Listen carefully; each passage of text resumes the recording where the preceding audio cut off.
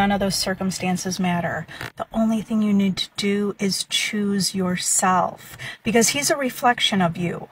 And if you're feeling unattractive and ugly, then he must be a reflection of what you feel about yourself. You have to change your perspective of yourself.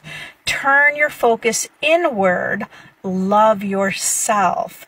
Decide that you're chosen. Decide that you're number one. You are adored. You are amazing. And you put all your focus on yourself, seeing yourself in the highest regard. Take him off the pedestal and put yourself up on the pedestal. And the only reason that he likes women with big boobs is because that's coming from you.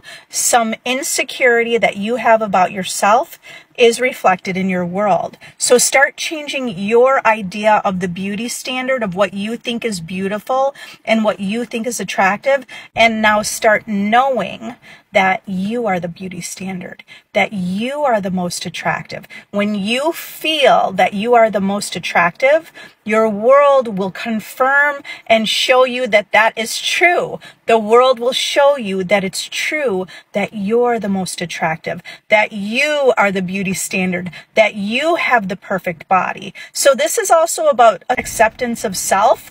When you can fully accept yourself and love yourself, that will reflect in your world. You don't need to change anything. You don't need to get a boob job. You just have to change your perspective about what you think is beautiful and attractive and loving because he will absolutely reflect what you think and feel.